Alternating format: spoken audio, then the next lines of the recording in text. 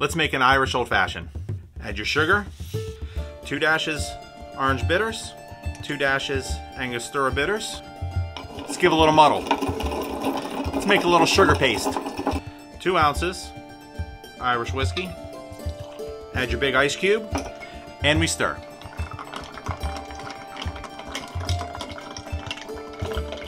And we've stirred. Garnish with orange. And lemon. Toss it in. Irish old fashioned. Mmm. It's delicious.